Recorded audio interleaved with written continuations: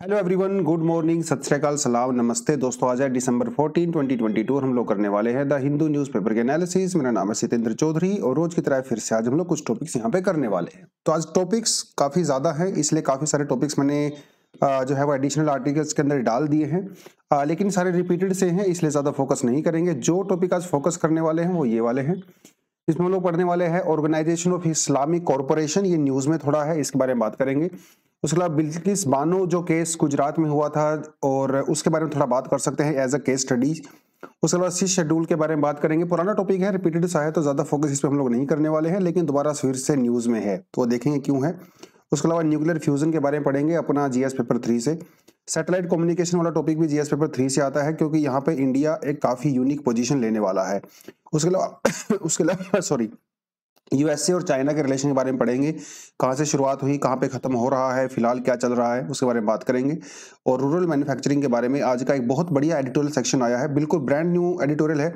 इसके बारे में पहले हम लोग कभी बात नहीं किया। यूजली लोगों को ऐसा लगता है कि जो मैन्युफैक्चरिंग है, यूजली वो इंडिया में अर्बन सेक्टर में होती है। लेकिन ऐसा नहीं है। Over a period of time trend change हो रहा है। और रूरल एरियाज़ में या फिर जो आप ये कहेंगे, छोटे जो शहर होते हैं, वहाँ पर भी जो है मैन्युफैक्चरिंग शिफ्ट हो रही है। उसका कारण क्या है वो जानेंगे। और उसके अंदर कौन कौन से चैलेंजेस हैं क्या क्या बेनिफिट है तो वो सब बात हम लोग यहाँ पे करने वाले हैं। उसके अलावा कुछ एडिशनल आर्टिकल भी हमारे साथ हैं। और अगर आप में से कोई स्टूडेंट वो फाउंडेशन कोर्स अगर हमारा ज्वाइन करना चाहता है तो ज्वाइन आप बिल्कुल कर सकते हैं। अगले महीने से यानी जनवरी से ही हम लोग उसको शुरू करने वाले हैं। नीचे डिस्क्रिप्शन बॉक्स में उसको, उसका लिंक मिल जाएगा, आप हमारी वेबसाइट को जाके भी विज़िट कर सकते हैं। और आज की वीडियो को सभी स्टूडेंट्स ने लाइक करना है, उसके बाद ही आपने आगे बढ़ना है। लेकिन एक बार फ्रंट पेज में देख लेते हैं, क्या हो रहा है आज। Uh, Chinese uh, tried to change status status को line of actual control Rajnath देखिए लाइन ऑफ़ एक्चुअल कंट्रोल ना कोई लीगल लाइन नहीं है।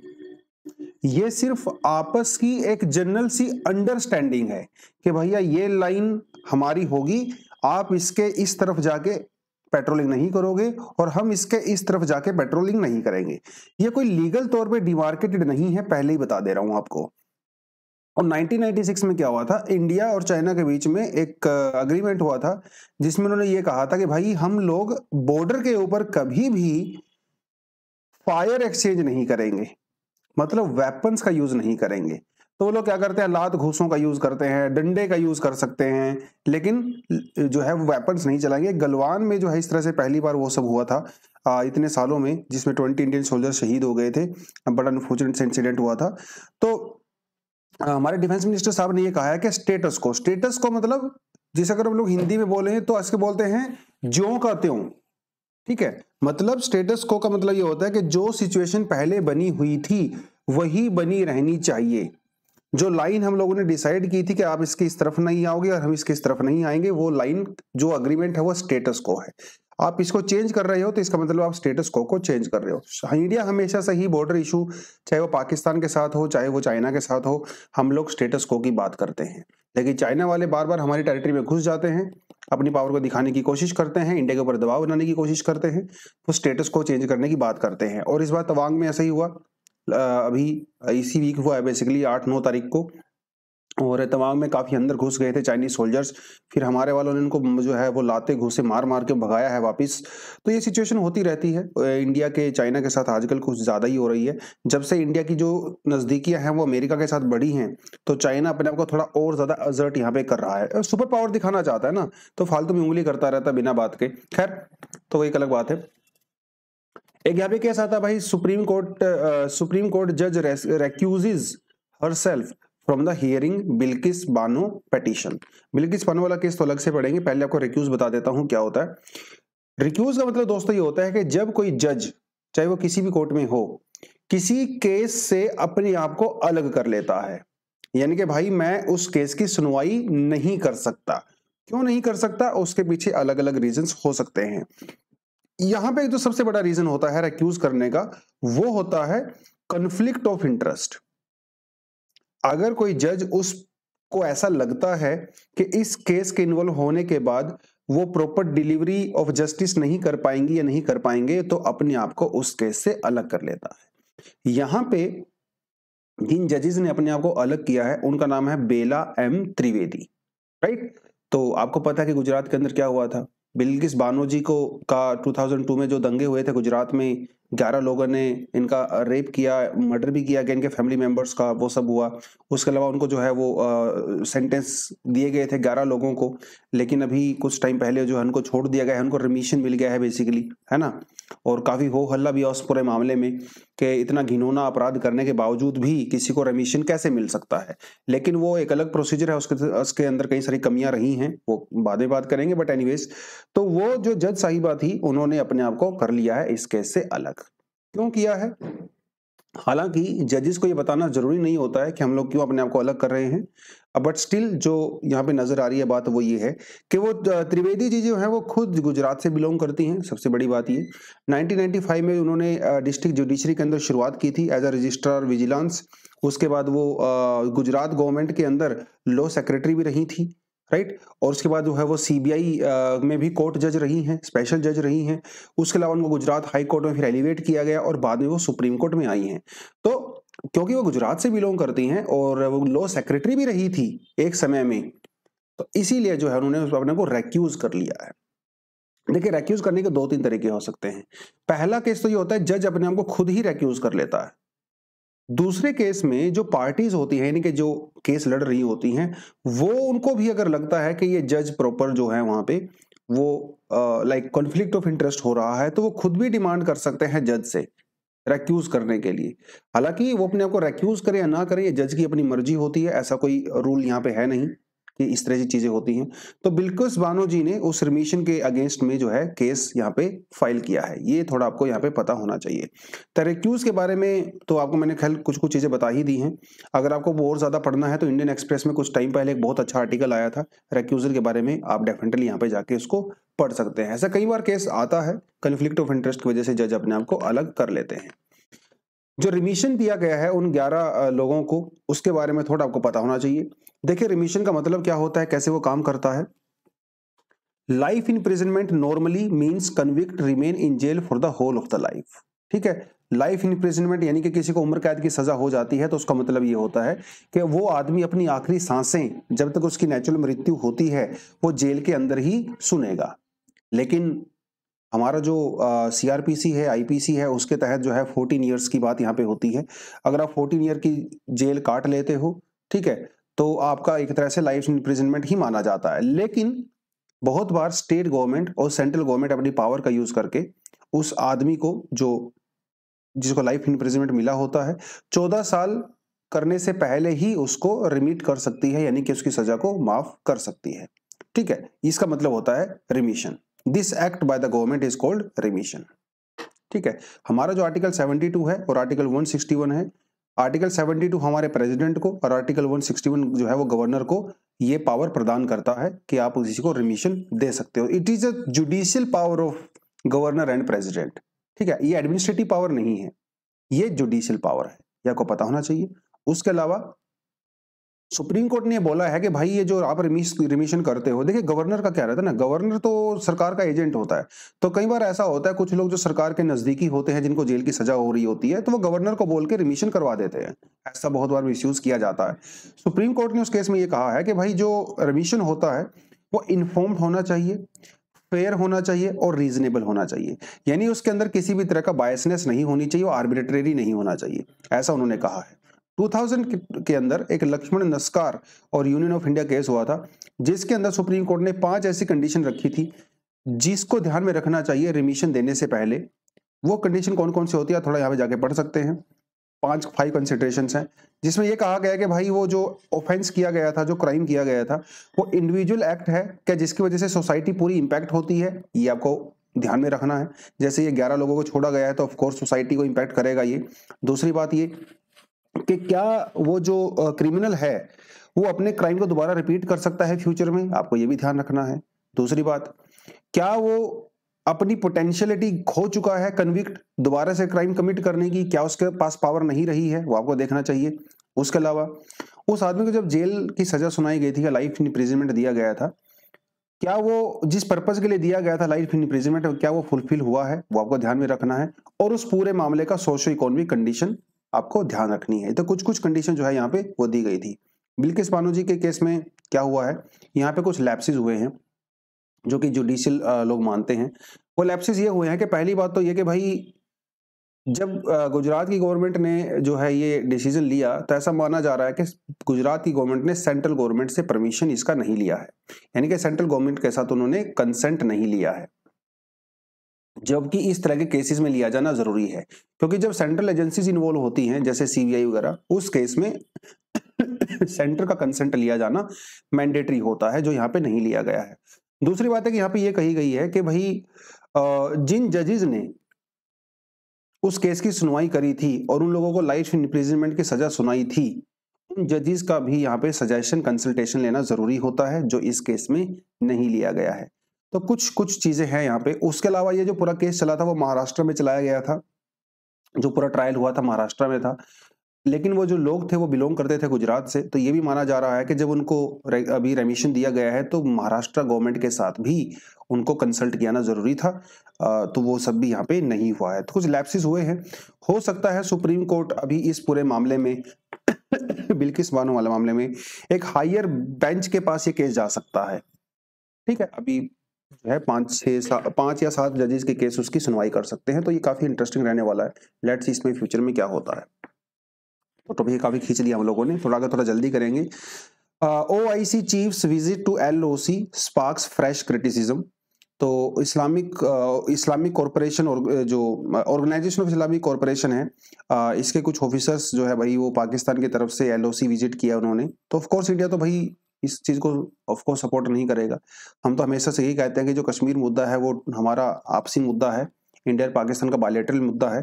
किसी भी थर्ड पार्टी को हम लोग इसमें बिल्कुल भी बर्दाश्त नहीं करते हैं, चाहे वो यूनाइटेड नेशन हो, चाहे यूएसए हो, चाहे वो ओआईसी हो ऑर्गेनाइजेशन ऑफ़ इस्लामिक कॉर्पोरेशन हो, ये हमारा आपसी मुद्दा है। लेकिन पाकिस्तान इस मुद्दे को हमेशा ही इंटरनेशनल मामले में खींचता रहता है फालतू में इंडिया के ऊपर दबाव बनाने के लिए। बट हालाँकि इससे कुछ होता नहीं है। तो ऑर्गेनाइजेशन ऑफ़ इस्लामिक कॉर्पोरेशन क्या होता है, ये थोड़ा सा आपको पता होना चाहिए। देखिए 1969 में इसका एस्टेब्लिश किया गया था सबसे पहली बार। और सऊदी अरेबिया के जेडा में इसका जो हेडक्वार्टर है, ये भी आपको पता होना चाहिए, ठीक है? इसका जो चार्टर है वो 1972 में सबसे पहली बार अडॉप्ट किया गया था। इसके अंदर शुरुआत में जो है 30 फाउंडिंग मेंबर्स थे, लेकिन आज के समय में 57 कंट्री जो है इसका पार्ट है। यूनाइटेड नेशन के बाद ये दुनिया का second largest inter governmental organisation है। और ऐसा माना जा रहा है कि इसका जो पर्पज है बेसिकली जो ये कहते हैं कि जितनी भी दुनिया में इस्लामिक कंट्रीज़ हैं, ये उनकी कलेक्टिव वॉइस है। तो पीस की बात करते हैं हारमोनी की बात करते हैं इस्लामिक कंट्रीज़ के अंदर। तो ये थोड़ा सा आपको यहाँ पे पता होना चाहिए। अब यहाँ पे सवाल ये भी उठता है कि सर इंडिया जो है वो वर्ल्ड का third largest Muslim population India में ही रहती है ऑफकोर्स इंडोनेशिया पाकिस्तान इंडिया उसके बावजूद भी हम लोग ओआईसी का पार्ट क्यों नहीं है? अब इसके पीछे ना बहुत सारे आर्गूमेंट दिए जाते हैं। कुछ इसके फेवर में है, वही कुछ इसके अगेंस्ट में है। पहली बात तो यह है कि इंडिया किसी भी एक ऐसी ऑर्गेनाइजेशन का पार्ट नहीं बनना चाहता जिसका बेसिस रिलीजन होता है, क्योंकि इंडिया एक सेकुलर कंट्री है। तो ऑफकोर्स हम इसका पार्ट नहीं बनेंगे ओबियसली बात है। दूसरी बात यह है कि भाई, ये पाकिस्तान जो है वो इंडिया की इन्वॉल्वमेंट को बहुत ज़्यादा अपोज करता है ओआईसी के अंदर। राइट राइट उसके अलावा हालाँकि ऐसी, ओआईसी के अंदर ऐसी बहुत सारी कंट्री हैं, जैसे खुद सऊदी अरेबिया है इंडिया और सऊदी अरेबिया के रिलेशन बहुत अच्छे हैं कतार हो गया रिलेशन बहुत ही अच्छे हैं यूएई हो गया रिलेशन बहुत अच्छे हैं, उसके अलावा मोलदीव हो गया बांग्लादेश हो गया, ठीक है, ये कंट्री कुछ ऐसे हैं जिनके साथ हमारे बहुत अच्छे रिलेशनशिप हैं, जो ओ का पार्ट हैं, और सीक्रेटली जैसे बांग्लादेश और और मोलदीव वगैरह हैं यूएई वगैरह हैं, वो नहीं चाहते कि कश्मीर वाले मुद्दे को इंटरनेशनलाइज किया जाए बट स्टिल एक स्टैंड जो ले लिया गया है, वो उसके ऊपर फॉलो कर रहे हैं वो सारी चीज़ें हो रही हैं बट इंडिया तो ऑफकोर्स इसको कभी भी पसंद यहाँ पे नहीं करेगा।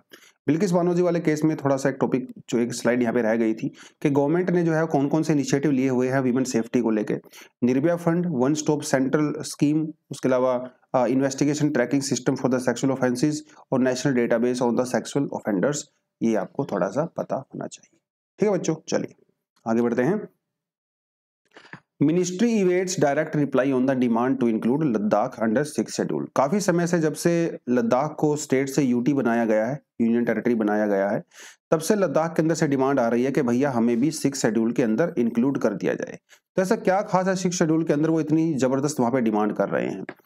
देखिए, एक तो यहाँ पे ना लद्दाख के लोगों को ये लगता है कि जब से यूटी बनी है तो उनकी रिप्रेजेंटेशन कम हो गई है, क्योंकि यूटी का सीधा सा मतलब होता है कि सेंट्रल गवर्नमेंट वहाँ पे डायरेक्टली एडमिनिस्टर करती है चीज़ों को।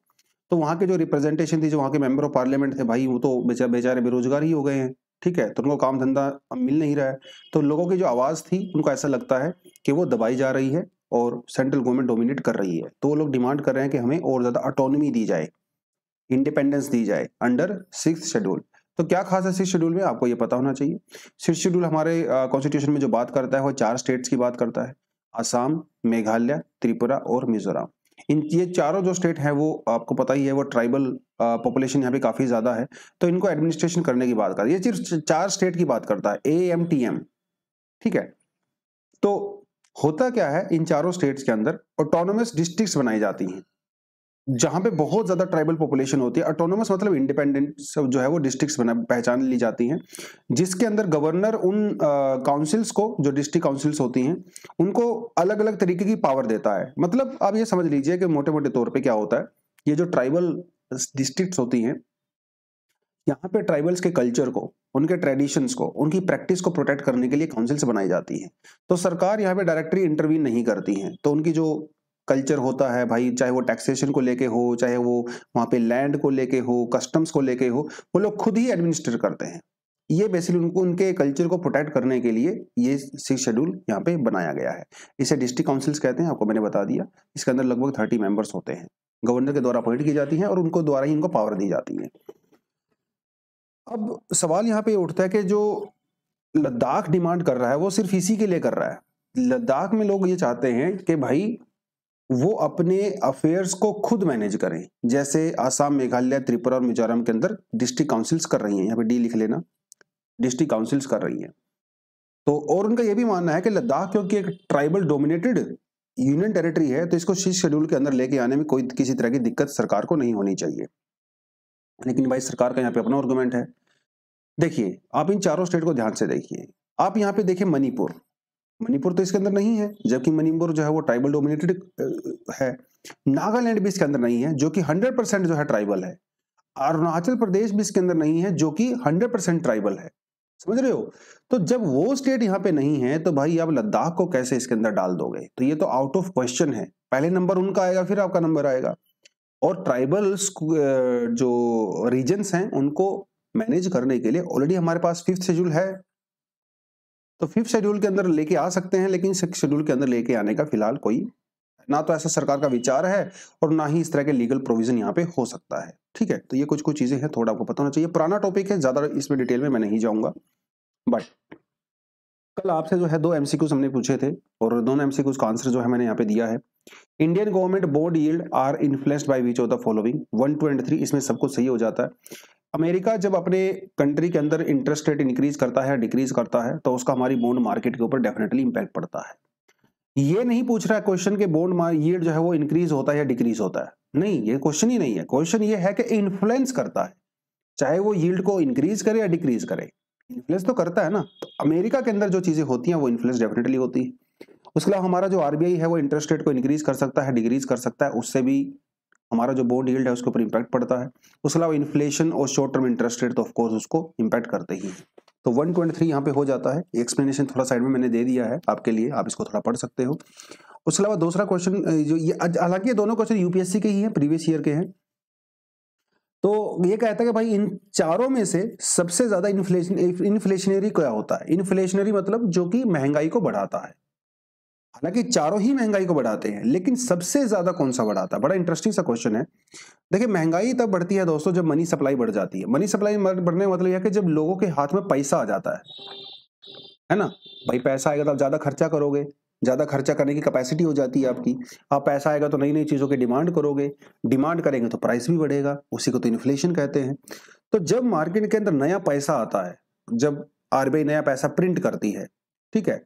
उससे जनता के हाथ में पैसा बढ़ जाता है मनी सप्लाई बढ़ जाती है और इन्फ्लेशन सबसे ज़्यादा उसी से होता है, जब नया पैसा प्रिंट होता है। और सरकार नया पैसा प्रिंट करती है बजट डेफिसिट को भरने के लिए ब्रिज करने के लिए। अब बजट डेफिसिट क्या होता है? मतलब बजट में क्या होता है? हमारी कुछ इनकम होती है और हमारा कुछ एक्सपेंडिचर होता है। ठीक है? तो जब आमदनी अठन्नी होती है, खर्चा रुपया होता है मतलब जो आपकी इनकम आपके एक्सपेंडिचर से कम होती है तो आपको पैसा बोरो करना पड़ता है। है ना? उधारी चढ़ जाती है ना आपके ऊपर। तो उस उधारी को चुकाने के लिए आपको पैसा बोरो करना पड़ता है। वो पैसा बोरो किया जाता है आरबीआई के द्वारा पैसा प्रिंट करके। और जब आरबीआई इस पैसे को प्रिंट करती है तो मार्केट में पैसा आता है। पैसा आता है तो इन्फ्लेशन बढ़ता है। तो ये सबसे ज़्यादा इन्फ्लेशनरी होता है नए पैसे की प्रिंटिंग ये थोड़ा आपको पता होना चाहिए। थोड़ा सा आगे बढ़ते हैं। Break through in fusion technology तो अमेरिका ने भैया फाइनली फ्यूजन टेक्नोलॉजी के अंदर एक ब्रेक थ्रू हासिल किया है। देखिए, आपको बताने की ज़रूरत नहीं है कि फ्यूजन होता क्या है। उससे पहले आपको फ्यूजन पता होना चाहिए। दो हाइड्रो हाइड्रोजन एटम जब आपस में कंबाइन करते हैं तो हीलियम बनाते हैं। इसे न्यूक्लियर फ्यूजन कहते हैं। जब स्मॉलर न्यूक्लियस मिलके एक लार्जर न्यूक्लियस बनाते हैं और इसमें बहुत सारा एनर्जी रिलीज़ होता है। ठीक है? इसे कहते हैं न्यूक्लियर फ्यूजन एक होता है न्यूक्लियर फ्यूजन जिसमें हम लोग क्या करते हैं? जैसे हाइयर एलिमेंट्स को ब्रेक करके स्मॉलर एलिमेंट्स में कन्वर्ट करता है। जैसे यूरेनियम को कन्वर्ट किया जाता है स्मॉलर एलिमेंट्स में, जो कि हम फ़िलहाल न्यूक्लियर जो टेक्नोलॉजी है उसमें यूज़ करते हैं। न्यूक्लियर जो हमारे वेपन्स होते हैं, उसके अंदर भी इसी टेक्नोलॉजी का यूज़ करते हैं। लेकिन दोनों में थोड़ा फ़र्क होता है दोस्तों। जो न्यूक्लियर फ्यूजन होता है न्यूक्लियर फ्यूजन से रेडियो एक्टिव हार्मफुल जो केमिकल्स हैं, वो एज अ बाई प्रोडक्ट निकलते हैं और जिनको मैनेज करना बहुत मुश्किल हो जाता है। लेकिन न्यूक्लियर फ्यूजन में जो बाई प्रोडक्ट निकलते हैं, वो रेडियो एक्टिव नहीं होते हैं। वो बिल्कुल एनवायरमेंटल फ्रेंडली होते हैं तो एनर्जी क्लीन होती है। राइट मज़ेदार बात यह है कि न्यूक्लियर फ्यूजन के कंपैरिजन में न्यूक्लियर फ्यूजन के अंदर जो एनर्जी होती है, वो अनलिमिटेड होती है। मतलब hundreds and hundreds of times ज़्यादा होती है। तो साफ़ सुथरी होती है क्लीन होती है एनवायरमेंटल फ्रेंडली होती है और एनर्जी भी बहुत ज़्यादा होती है। इसके कंपैरिजन में, नीचे वाले के कंपैरिजन में। तो आप सोच रहे होंगे, सर, ये जब इतना ज़्यादा बेनिफिट है इसका तो इसको हम लोग यूज़ क्यों नहीं करते? क्योंकि भाई वो टेक्नोलॉजी इतनी एडवांस है कि अभी तक हम लोग ब्रेक थ्रू हासिल नहीं कर पाए हैं। हमारा जो सन होता है, सूर्य होता है, उसके अंदर भी न्यूक्लियर फ्यूजन टेक्नोलॉजी ही यूज़ होती है, जिससे सूर्य ही नहीं, बल्कि कोई भी स्टार हो, उसके अंदर न्यूक्लियर फ्यूजन से ही एनर्जी निकलती है। तो बड़े समय से चाइना, फ्रांस, जर्मनी, अमेरिका ऐसी टेक्नोलॉजी लगाने के जुगाड़ कर रहे थे कि ऐसा कुछ हो सके, ताकि फ्यूचर में न्यूक्लियर फ्यूजन से हम लोग बिजली पैदा कर सके। और अगर बिजली पैदा होती है, इसको हम लोग यूज़ कर सकते हैं तो बहुत बड़ा जो है यहाँ पे ब्रेक थ्रू हो जाएगा। तो जो आपके सोलर पावर प्लांट हैं, जो आपके कोल थर्मल पावर प्लांट है natural gas gas based power plant है, सब बंद हो जाएँगे, क्योंकि न्यूक्लियर फ्यूजन से इतनी एनर्जी निकलती है। हर आपकी पूरी डिमांड पूरी की जा सकती है। तो इसको करने का एक तरीका ये होता है कि जो हाइड्रोजन जो हमारे एटम्स होते हैं, इनको हाई एनर्जी देनी पड़ती है। और हाई एनर्जी पे जाके ये आपस में जुड़ जाते हैं और हीलियम चाहे वो प्रोड्यूस करते हैं। इसे न्यूक्लियर फ्यूजन होता है। लेकिन ये हाई एनर्जी आ कहाँ से रही है? मतलब आपको न्यूक्लियर फ्यूजन से बिजली पैदा करने के लिए उनको पहले आपको बहुत ज़्यादा एनर्जी देनी पड़ती है। तो हाइड्रोजन बॉम्ब के अंदर भी यही तरीका यूज़ होता है। लेकिन हाइड्रोजन बॉम्ब तो बॉम्ब हो गया ना। वो तो अनकंट्रोल्ड हो गया ना। हम तो कंट्रोल्ड चाहते हैं ताकि अपनी मर्ज़ी से कंट्रोल कर सकें। तो इसके लिए क्या किया जाता है? हाई एनर्जी के लिए लेजर टेक्नोलॉजी का यूज़ किया जाता है। तो हाई है जो वर्ल्ड का सबसे लार्जेस्ट लेजर है, वो है अमेरिका के पास। तो अमेरिका के पास जो Lawrence Liv Livermore national laboratory है कैलिफ़ोर्निया के अंदर, उसके पास ये लेजर है। तो ये लोग क्या करते हैं? जो हाइड्रोजन जो प्लाज्मा होता है, उसके ऊपर लेजर की बम्बार्डमेंट करते हैं, जिससे एनर्जी निकलती है बहुत ही ज़्यादा, और आपके जो हाइड्रोजन के एटम है, वो मिलके हीलियम कन्वर्ट कर देते हैं। अब तक क्या हो रहा था? अब तक भाई ऐसा हो रहा था कि लेजर के अंदर एनर्जी ज़्यादा थी और उसकी वजह से जो एनर्जी प्रोड्यूस हो रही थी वो कम हो रही थी। मतलब खर्चा ज़्यादा हो रहा था। हम लोग जो लेजर को लिए कर रहे हैं, लेकिन प्रोडक्शन कम हो रही थी। लेकिन पहली बार ऐसा हुआ है, पहली बार ऐसा हुआ है कि जितनी एनर्जी हम लोगों ने लेजर से दी है, उससे ज़्यादा एनर्जी हम लोगों ने न्यूक्लियर फ्यूजन से प्रोड्यूस की है। मतलब हम लोग सरप्लस में गए हैं। 120 परसेंट एक्स्ट्रा हम लोगों ने बिजली पैदा की है। मतलब ये समझ लीजिए, जैसे अगर हंड्रेड कैलोरी का लेजर हम लोगों ने यूज़ किया है तो 120 कैलोरी हम लोगों ने न्यूक्लियर फ्यूजन से प्रोड्यूस किया है। तो मतलब हम लोग प्लस में हैं। तो ये एनर्जी का ब्रेक थ्रू है और अगर फ्यूचर बेस्ड टेक्नोलॉजी को, देखिए हालाँकि अभी 20 30 50 सालों तक तो आप मान के चलिए ये सब नहीं होने वाला है। क्योंकि 40 50 साल और कम से कम लग जाएगा इसको, ऐसा माना जा रहा है। बट स्टिल प्रोसेस शुरू है, साइंटिस्ट लोग काम कर रहे हैं और अगर ऐसा होता है तो डेफिनेटली कार्बन डाइऑक्साइड जो हम लोग एमिट करते हैं टेक्नो इंडस्ट्री की वजह से या व्हीकल्स वगैरह की वजह से वो डेफिनेटली कम हो जाएगा और क्लाइमेट चेंज को हम लोग यहाँ पे टैकल कर सकते हैं। तो it's such a great thing let's hope के जल्दी हो जाए। टाइम लगता है चीज़ों में, महान चीज़ों में टाइम हमेशा ही लगता है। इंडिया में be first to hold satellite spectrum auction देखिए, अभी तक तो इंडिया में सैटेलाइट फ़ोन अलाउड ही नहीं है। कुछ खास सिचुएशन में, जैसे कुछ मिलिट्री में पुलिस में डिफेंस में, आप सैटेलाइट फ़ोन का यूज़ कर सकते हो। सैटेलाइट फ़ोन के लिए क्योंकि आपके टावर्स वगैरह की रिक्वायरमेंट नहीं होती है, आपका जो मोबाइल फ़ोन होता है, उस मोबाइल फ़ोन से सिग्नल सीधा सैटेलाइट में जाता है। ऊपर जो हम लोग अपने कम्युनिकेशन सैटेलाइट डाल के रखते हैं, और वहीं से सिग्नल जो है आपको रिसीव होता है। तो इसमें कोई बीच में टावर कोई एयरटेल जो ऐसा कोई चक्कर होता नहीं है। तो इट्स अ वेरी सेफ़ और आप कहीं जंगल में हो, समंदर में पड़े हों, धरती के नीचे हों डजेंट मैटर आपको हमेशा ही सिग्नल वहाँ पे मिलता है। तो ये होती है सैटेलाइट। आम जनता के लिए अभी तक इंडिया में सैटेलाइट कम्युनिकेशन अलाउड नहीं था। ठीक है? विदेशों में अलाउड होता है, इंडिया में अलाउड नहीं था। तो जैसे हम लोग नॉर्मल जो स्पेक्ट्रम होता है हमारा, जिसे ट्राई रेगुलेट करता है, जो एयरटेल, जियो, इन कंपनीज़ को दिया जाता है, उसी तरह से फ्यूचर में क्योंकि हम लोग सैटेलाइट कम्युनिकेशन को अलाउ करने वाले हैं तो उसका, का जो स्पेक्ट्रम है, उसको भी हम लोग ऑप्शन करेंगे। और इंडिया दुनिया का ऐसा पहला कंट्री बन सकता है, जो ऐसे एयरटेल जियो वगैरह, अगर ये सैटेलाइट कम्युनिकेशन में इंटरेस्टेड हैं ऑप्शन कर सकती हैं तो इंडिया उसको भी यूज़ करेगा। तो ये तो अभी तो अभी तो देखे इसके बारे में सिर्फ़ बातचीत चल रही है। आगे फ्यूचर में डेफिनेटली आर्टिकल और भी ज़्यादा आएगा, और मैं एक्सपेक्ट कर रहा हूँ यहाँ से ये तो एडिटोरियल आएगा टेक्स्ट सेक्शन आएगा तो डिटेल में जाके इसको डेफिनेटली हम लोग पढ़ने वाले हैं। बट थिंग इज़ के ऐसी शुरुआत इंडिया में हो चुकी है। सैटेलाइट टेक्नोलॉजी क्या होती है? ठीक है, और सैटेलाइट टेक्नोलॉजी के इंडिया के लिए क्या बेनिफिट होंगे? ये थोड़ा सा मैंने आपको सेल्फ स्टडी के लिए ही डाला है बेसिकली तो जो हमारे लो अर्थ ऑर्बिट के अंदर जो सैटेलाइट्स होते हैं यूजली 300-400 किलोमीटर पे जो सैटेलाइट्स होते हैं, वहाँ पे जो है इसका यूज़ किया जाता है। और इस समय दुनिया की कई ऐसी कंपनी है जैसे स्टारलिंक वन वेब ये सैटेलाइट टेक्नोलॉजी का यूज़ कर रही हैं, जो कि इलोन मस्क की कंपनी है। स्टार लिंक वगैरह, वो सब इसको यूज़ कर रही हैं। बेनिफिट इसका सबसे बड़ा तो यही होता है कि जो इनएक्सेसिबल एरिया होते हैं माउंटेनियस एरियाज़ होते हैं इंटीरियर एरियाज़ होते हैं, जहाँ पे अभी तक मोबाइल की एक्सेस नहीं है नेटवर्क की एक्सेस नहीं है, वहाँ पे आपको डेफिनेटली एक्सेस मिल सकता है, ठीक है? काफ़ी रिलायबिलिटी भी बढ़ेगी और क्वालिटी भी इंप्रूव होगी आपके कम्युनिकेशन की। तो ये सेल्फ स्टडी के लिए थोड़ा पढ़ लेना है इसको आप लोग जाके, ठीक है? चलिए। एक यहाँ पे जो आज का टेक्स्ट सेक्शन था, वो हम थोड़ा सा देख लेते हैं। बहुत ज़्यादा डिटेल में नहीं जाएँगे बट चाइना अमेरिका के रिलेशनशिप को थोड़ा देख लेते हैं। हमारे एग्ज़ाम के परस्पेक्टिव से इंडिया के रिलेशन ज़्यादा इंपॉर्टेंट होते हैं, ठीक है? इंडिया का मोलदीव से श्रीलंका से नेपाल से चाइना से पाकिस्तान से यूएसए से फ्रांस से जर्मनी से, या इसराइल से, वो हमारे लिए ज़्यादा इंपॉर्टेंट है। अमेरिका और चाइना का जो रिलेशन है, वो सिर्फ़ एक अंडरस्टैंडिंग के लिए पता होना चाहिए, क्योंकि दुनिया की दो सबसे बड़ी पावर है अमेरिका और चाइना। भाई, ये आपस में एक दूसरे के बारे में क्या सोचती हैं, वो थोड़ा हमें डेफिनेटली पता होना चाहिए। देखिए, वैसे तो अगर चाइना को देखें तो कुछ साल पहले तक लाइक नाइनटीन और नाइनटीन तक, चाइना कोई बहुत बड़ी पावर नहीं थी।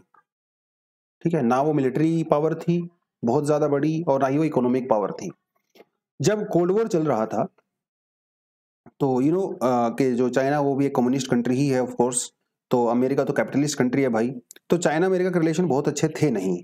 बट लेकिन जब चाइना ने अपनी इकोनॉमी को ओपन किया तो अमेरिका और यूरोप खासकर अमेरिका की कंपनी को एक अपॉर्चुनिटी नज़र आई।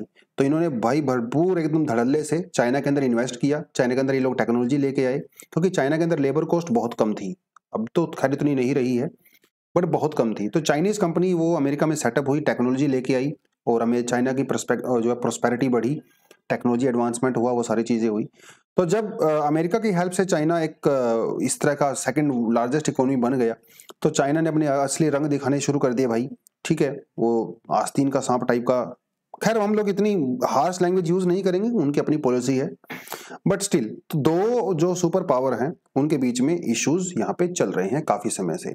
कुछ समय आप, पहले आपको पता ही है कि जो नैन्सी पिलोसी जी ने ताइवान के अंदर विज़िट किया था और ताइवान जो है वो भाई चाइना की दुखती रग है और ताइवान को चाइना अपना पार्ट मानता है।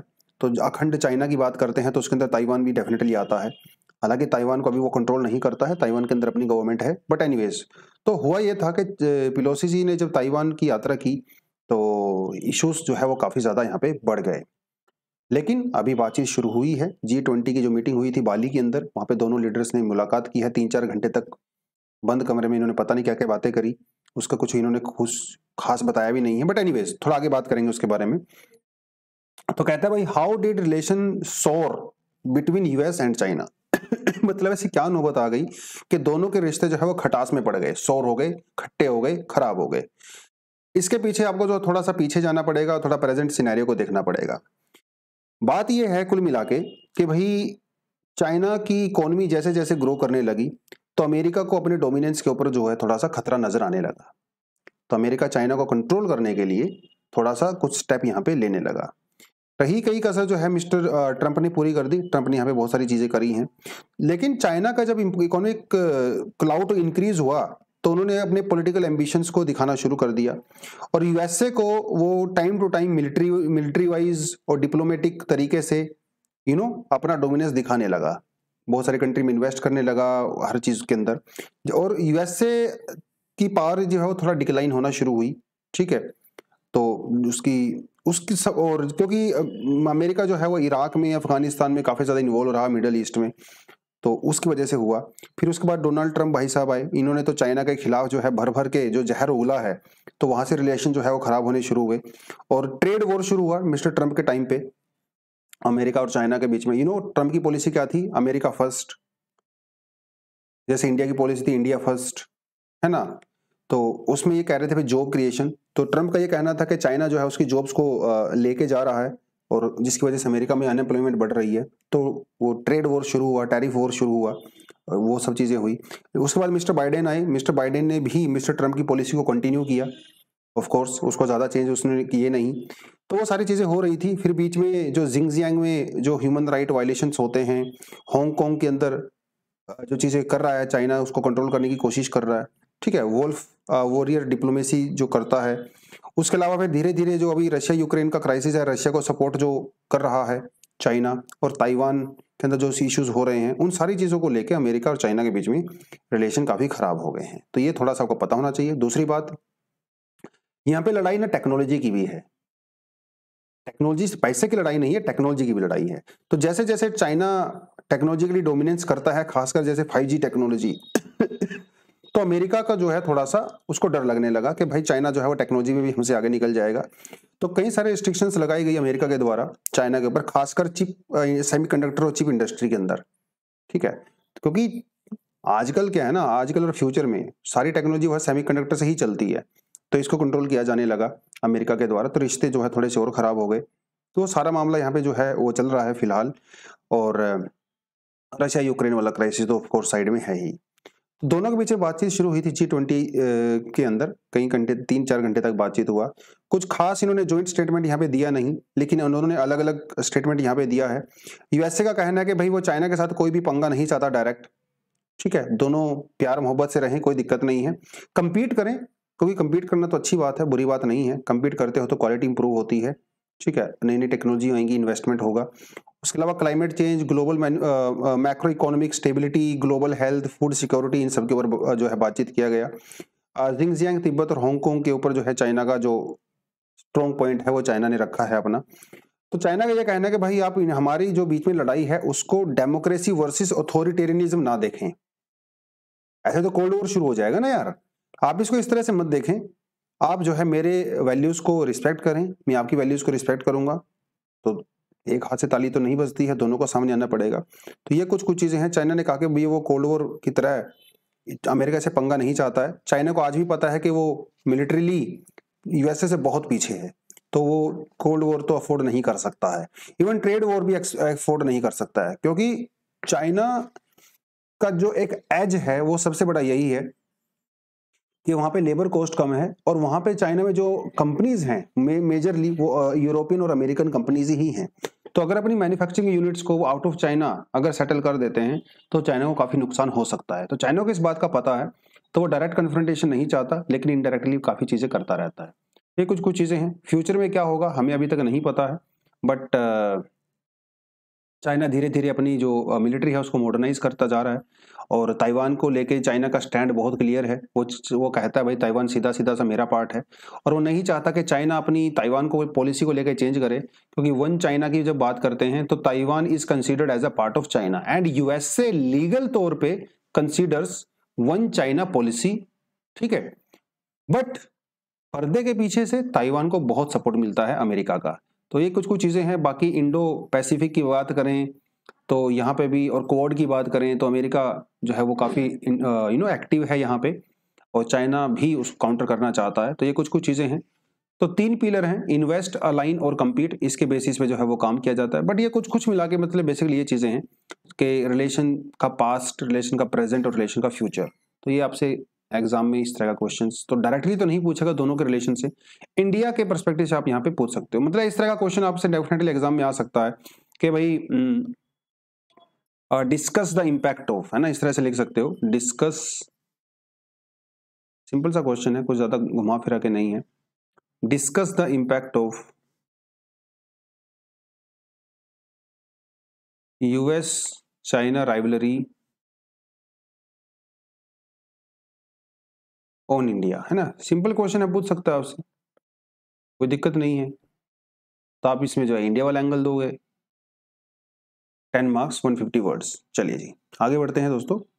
नेक्स्ट हमारे पास जो टॉपिक आता है, वो आता है आज का एडिटोरियल जो बात करता है राइज ऑफ़ रूरल मैन्युफैक्चरिंग ठीक है, देखिए यूजली हम ये लोग ये मान के चलते हैं कि अर्बन एरियाज़ के अंदर ही मैन्युफैक्चरिंग ज़्यादा होती है। लेकिन ऐसा एक्चुअली में है नहीं। पिछले कुछ समय से मतलब दस पंद्रह बीस साल से, रूरल सेक्टर की तरफ़ हमारी मैन्युफैक्चरिंग धीरे धीरे बढ़ रही है। रूरल सेक्टर मतलब ये प्रॉपर गाँव नहीं प्रॉपर गाँव भी हो सकते हैं, लेकिन जो स्मॉल सिटीज़ होती हैं, जो अभी भी रूरल एरियाज़ के अंदर आती हैं अर्बन एरियाज़ मतलब मेट्रो सिटीज़ के अंदर इंडस्ट्री जो है वापस छोटे शहरों की तरफ़ जा रही है।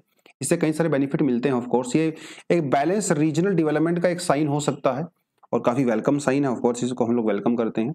वर्ल्ड बैंक ने 2012 के अंदर एक रिपोर्ट निकाली थी is India's manufacturing sector moving away from the cities that was the title of the report और जिसमें यह कहा गया था कि yes manufacturing actually rural areas की तरफ़ जा रही है। बट यहाँ पे आप देखिए क्या कह रहा है वो। कहता है manufacturing plants in the formal sector are moving away from the urban areas यानी कि जो फॉर्मल सेक्टर वाली जॉब्स हैं, वो अर्बन एरिया से रूरल एरियाज़ में जा रही हैं। बट जो इनफॉर्मल सेक्टर वाली जॉब्स हैं वो अभी भी रूरल एरिया से अर्बन एरियाज़ की तरफ़ जा रही हैं। यानी कि समय का चक्र उल्टा हो गया है। फॉर्मल रूरल की तरफ़ आ रही हैं और इनफॉर्मल अर्बन की तरफ़ आ रहे हैं। ये वर्ल्ड बैंक की रिपोर्ट है। उसके अलावा एनुअल सर्वे किया जाता है इंडस्ट्रीज़ का जो 2019-20 में भी उन्होंने यही कहा कि 42 percent of the factories right now in India are in the rural areas 62 percent of fixed capital is in the rural areas तो धीरे धीरे गाँव की तरफ़ रूरल एरियाज़ की तरफ़ इंडस्ट्री जो है वो बढ़ रही है। नई नई जो इन्वेस्टमेंट हो रही है, वो भी रूरल एरियाज़ की तरफ़ ही आ रही है। ठीक है? ये तो थोड़ा आपको पता होना चाहिए। In terms of employment it accounted for the 40 percent employment भी जनरेट हो रहा है तो 44 परसेंट तो रूरल एरियाज़ में ही जा रही है। अब ये बात ये है कि भाई इसके पीछे कारण क्या है? अर्बन एरिया से रूरल एरिया की तरफ़ जो शिफ्टिंग हो रही है मैन्युफैक्चरिंग सेक्टर की, वो क्यों हो रही है? इसके पीछे कई सारे रीजन हैं। पहला रीजन जो यहाँ पे सबसे बड़ा नज़र आता है, वो ये है कि factory floor space supply urban areas के अंदर तो भाई स्पेस लिमिटेड है। ठीक है? आपने एक बार फैक्ट्री लगा दी, मान लो दस साल के बाद, पंद्रह साल के बाद अगर आप उसको एक्सपेंड करना चाहते हो तो कहाँ एक्सपेंड करोगे? आपके पास जगह की बहुत कमी है बट रूरल एरियाज़ में आपके पास लैंड ऑलमोस्ट अनलिमिटेड है। आप अपनी फैक्ट्री को बढ़ाना चाहते हो, आराम से बढ़ा सकते हो, कोई दिक्कत नहीं है। दूसरी बात यहाँ पे ये है कि लैंड कोस्ट जो कीमत है भैया ज़मीन की, वो भी अर्ब रूरल एरियाज़ में कम है काफ़ी तो वहाँ पे जाना काफ़ी बेनिफिट होता है प्रॉपर्टी की कीमत कम होती है। उसके अलावा जो वेजेस होते हैं, जो सैलरी आपको देनी पड़ती है, वो रूरल एरियाज़ में उतनी हाई नहीं है, जितनी कि अर्बन एरियाज़ में है। ये कुछ कुछ बातें इन्होंने यहाँ पे बोली हुई हैं। Displacement of labour by the machines क्योंकि कंपनी क्या कर रही हैं? वो रोबोट्स मशीनों का ज़्यादा यूज़ कर रही हैं रादर देन ह्यूमन बींग्स तो उससे हो रहा क्या है? जब आप मशीन्स का यूज़ करते हो तो आप ज़्यादा कैपिटल इन्वेस्टमेंट का यूज़ करते हो टेक्नोलॉजी आप एडवांसमेंट करते हो तो उसके लिए आपको जो है एक डिफरेंट तरह का सेटअप चाहिए। अर्बन एरियाज़ के अंदर वो सेटअप आपको नहीं मिल पाता है, क्योंकि वहाँ पे ऑलरेडी बहुत कंजेस्टेड चीज़ें हो चुकी हैं। तो कैपिटल इंटेंसिटी जो है वो रूरल एरियाज़ के अंदर ज़्यादा है as compare to urban areas दूसरी बात दूसरी बात ये कहता है कि भाई प्रोडक्शन कॉस्ट क्योंकि अर्बन एरियाज़ के अंदर जो है वो ऑपरेटिंग कॉस्ट बहुत ज़्यादा है। लैंड का रेंट ज़्यादा है, बिजली के बिल भी बहुत महँगे हैं, पानी महँगा आता है टैक्सेशन वगैरह काफ़ी ज़्यादा होता है। तो ऑपरेटिंग कॉस्ट ज़्यादा होती है सिटीज़ में। अर्बन एरियाज़ के अंदर काफ़ी कम होती है, जिसकी वजह से प्रॉफिटेबिलिटी बढ़ती है कंपनीज़ की और कॉम्पिटिटिवनेस बढ़ती है। है ना? मतलब ये समझ लीजिए एक फैक्ट्री अर्बन एरिया में लगा रखी है, किसी कंपनी मतलब अडानी ने, अंबानी ने वही रूरल एरिया के अंदर लगा रखी है तो अंबानी को ज़्यादा बेनिफिट होगा क्योंकि उसके गाँव के अंदर फैक्ट्री है, उसका बिजली का बिल कम आता है रेंट कम आता है सैलरी कम देनी पड़ती है तो उससे कॉम्पिटिटिवनेस बढ़ता है। तो अंबानी वाले प्रोडक्ट अडानी वाले से सस्ते हो जाते हैं। ठीक है? तो ये इन्होंने यहाँ पे एक रीजन दिया है। दूसरी बात इन्होंने ये कही है कि भाई availability availability of less skilled less unionised and the less costly labour तो यूनियन बाजी गाँव वगैरह में ज़्यादा नहीं होती है। रूरल एरियाज़ में यूनियन बाजी अर्बन एरियाज़ में रूरल बाजी ज़्यादा होती है यूनियन बाजी क्यों? क्योंकि वो काफ़ी पुराना सेटअप है। और मार्क्सिस्ट जो मूवमेंट रही है इंडिया में, उसकी वजह से यूनियन काफ़ी स्ट्रॉन्ग है। अर्बन एरियाज़ के अंदर तो कई बार वो लोग क्या करते हैं स्ट्राइक पे चले जाते हैं हड़ताल वगैरह कर देते हैं नुकसान हो जाता है। तो ये कुछ कुछ चीज़ें हैं। आ, लेकिन कुछ चैलेंज भी हैं ऑफ़ कोर्स भाई चैलेंज सबसे बड़ा तो चैलेंज यही है कि स्किल अर्बन रूरल एरिया में मोस्टली जो लोग हैं वो अनस्किल्ड हैं सेमी स्किल्ड हैं। तो उनको स्किल प्रोवाइड कराना ज़रूरी है क्योंकि आप जब स्किल प्रोवाइड नहीं कराओगे तो अपनी प्रोडक्ट की क्वालिटी को आप इंप्रूव नहीं कर सकते। और आपका जो कंपटीशन का जो एज आपको मिला था वो एज धीरे धीरे खत्म हो जाता है। क्योंकि अर्बन एरियाज़ के अंदर आपको हाई स्किल्ड वर्कर्स मिलते हैं। जो बेटर मशीनों का यूज़ कर सकते हैं क्वालिटी इंप्रूव कर सकते हैं लेटर ऑन वो कंपटीशन में ज़्यादा बेटर कर सकते हैं। तो एक तो सबसे बड़ी बात यह है कि भाई स्किल उनको दिया जाना सबसे ज़्यादा ज़रूरी है, ठीक है? तो ये कुछ कुछ चीज़ें आपको पता होनी चाहिए। तो that was the whole article about the rural manufacturing आप आसानी से बहुत सिंपल सा क्वेश्चन यहाँ पे बना सकते हो। आप सिंपल सा क्वेश्चन यहाँ से बना सकते हो that rural manufacturing rural manufacturing in recent times has experienced a rising trend. In this context, discuss the reasons and challenges of rural manufacturing in India.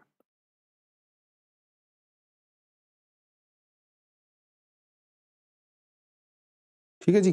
तो 150 वर्ड्स में आप इसको लिख सकते हो 10 मार्क्स में। सिंपल सा क्वेश्चन रहेगा। आज के लिए दोस्तों इतना ही था। उसके अलावा एक और आर्टिकल यहाँ पे है वैक्सीन वाला। ये आपको मैंने सेल्फ स्टडी के लिए डाला है।